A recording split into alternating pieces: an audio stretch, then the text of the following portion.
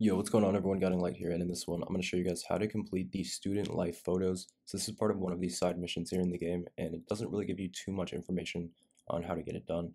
So very quickly, I'm going to walk you guys through all three of these locations that you have to go and take photos in. So the first one's actually going to be up here, up in the garden. So if you take a look at your mini map, there will actually be three little photo icons, and it will tell you the general area, but it won't tell you exactly where you need to stand in order to complete them. So this will be where you can get the first one done. Uh, if you open up your map from here after getting it done, you should see a giant photo icon on the map.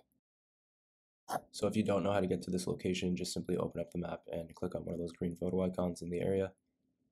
So this second one, this one's the esports club. This one was the hardest to get to work. I'm not really sure what it is you even are supposed to be pointing at.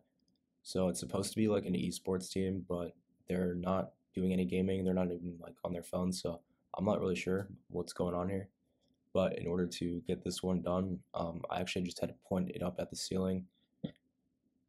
So I actually just pointed it right up there, and that was the only way I was able to get it to work after checking like 20 or 30 different spots. So I don't know if that was a glitch on my game or not, but even when I went up here to see if there was another angle or like people sitting up there, there wasn't. So I'm not sure if that's a bug or not. But after that, going for the third one, you can the drone club one is probably the easiest.